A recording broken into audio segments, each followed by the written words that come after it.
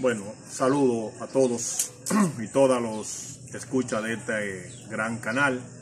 En el día de hoy queremos hacerle un llamado al ministro de Agricultura, al ingeniero Omar Benítez, que acuden a auxilio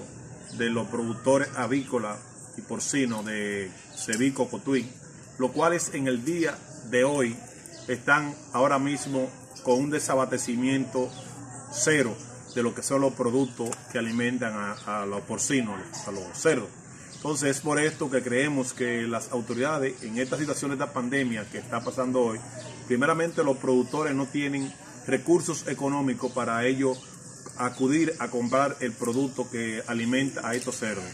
Ya están en una situación de precariedad, ya que no tienen mercado para vender la carne de cerdo y queremos que las autoridades, llámese el ministro de Agricultura y el mismo superior gobierno, y la misma autoridad de, la provincia de Sánchez Ramírez de Cotuí, acuda en auxilio de estos productores avícolas.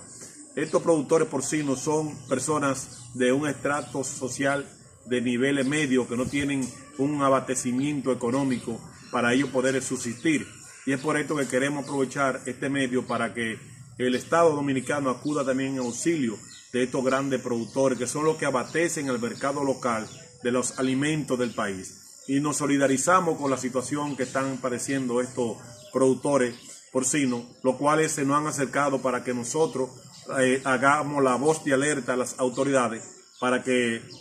acudan en auxilio. Reiterarle al ministro de Agricultura, eh, ingeniero Omar Benítez, para que acuda eh, ayudando en solidaridad con estas clases de productores, los cuales hoy no tienen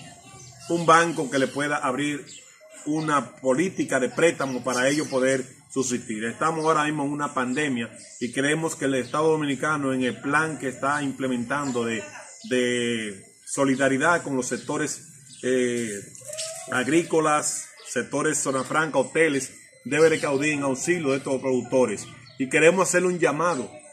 al mismo gobernador de Cotuí, quien es el representante del presidente de la República, para que se le acerque a la Asociación de Productores Agrícolas de Cevico, lo cual está en una situación muy precaria. Creemos que es algo muy urgente y esta es una condición que si nosotros ahora mismo vemos la pandemia que nos está pasando a nosotros los seres humanos, ¿qué será a ellos que están ahora mismo con, con, la amenaza de la pandemia y con la situación económica que está viviendo el país con esta situación de esta propagación de este virus, el cual ahora mismo tiene al país en una tensión. Muchísimas gracias y esperamos que este llamado sea, le llegue a las autoridades competentes.